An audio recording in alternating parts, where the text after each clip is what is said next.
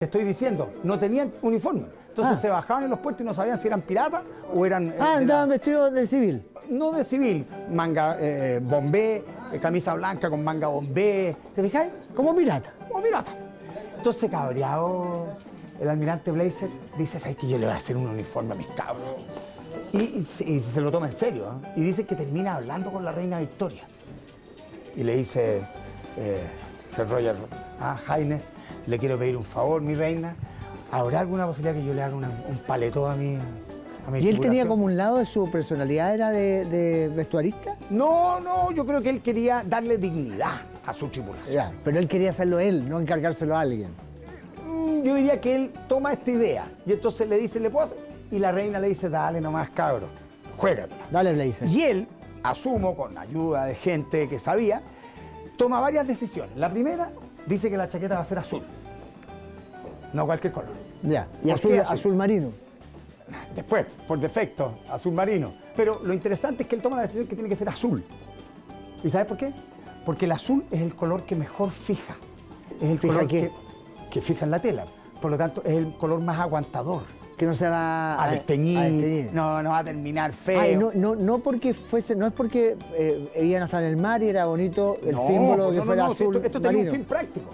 Esto tenía un fin práctico. O sea, si tú estás en el mar donde todo este color, lo, lo- lo- lo razonable sería que hiciera un contraste. Pero Claro, no. blanco, por ejemplo. Claro, pero no. Él dice, aun cuando hay chaquetas de gala que pueden ser blancas, pero la chaqueta de trabajo del oficial era- debía ser azul.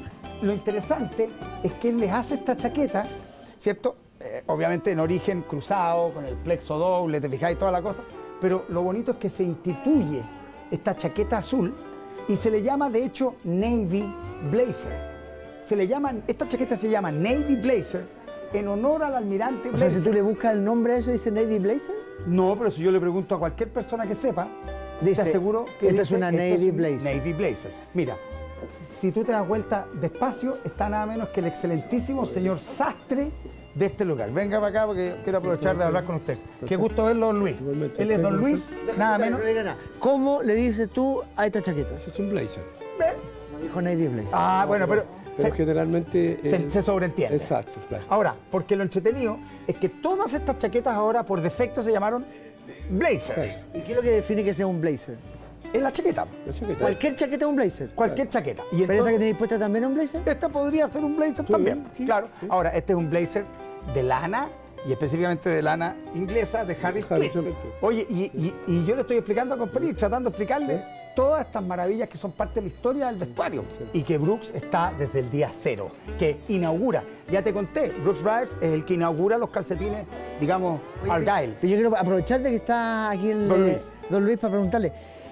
Toda, toda esta ropa eh, se la adaptan a, a la gente que, pues, como yo, tiene las patas cortas, a Piñera que tiene los brazos cortos y así. Exactamente. Ese es mi trabajo. ya. Ese es el trabajo de Luis, es que tú, a ver, que es muy bonito porque fíjate que de nuevo otra cosa que inaugura esta marca, que es el llamado pretaporter, ¿cierto? ¿Qué lo significa pretaporter? Ready to wear, o sea, listo para usarse. ¿Me entiendes?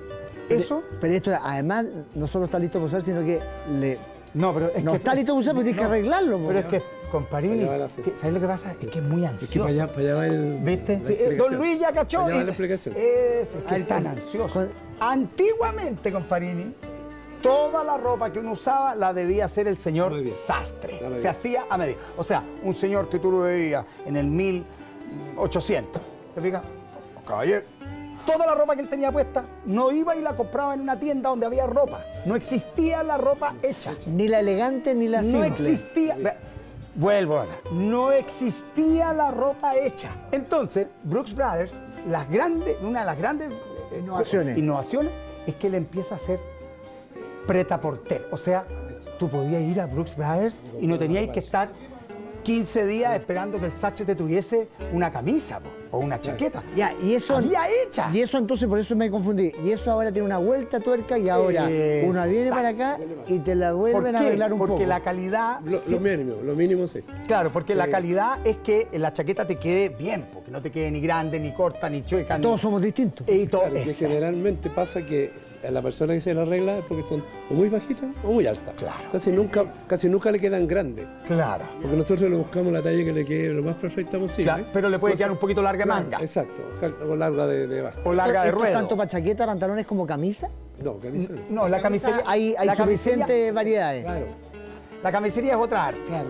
Y, y otra cosa. Sí. A pesar de que aquí hay distintos largos de manga. Es que- es que, claro, Es difícil que te quede más camisa. Exactamente, las camisas tienen dos tallas, el cuello y el largo de manga. Pero los calzoncillos, No, ya.